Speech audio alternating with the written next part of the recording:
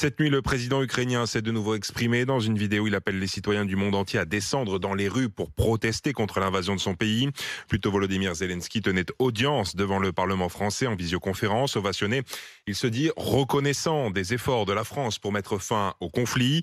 Le président ukrainien s'en est aussi pris aux entreprises françaises toujours présentes en Russie, les accusant de soutenir, je cite, une machine de guerre parmi les entreprises ciblées. Renault, sous pression, le groupe a cédé et annonce le retrait de ses activités à Moscou, Alnivia Tolinki.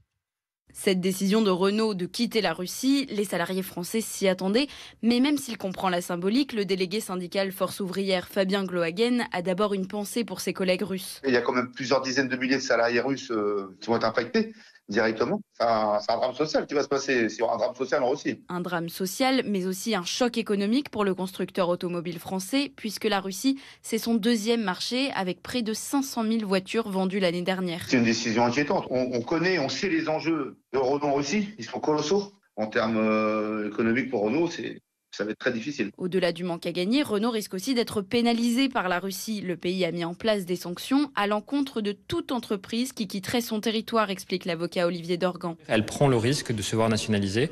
Ses magasins pourraient être nationalisés et son stock pourrait également être nationalisé. C'est plus qu'une menace, c'est une réalité euh, qui va prendre forme dans les prochaines semaines. Et il rappelle que la Russie a également pris des mesures visant directement les dirigeants de ces entreprises qui décident de partir, avec des peines qui peuvent aller jusqu'à l'emprisonnement.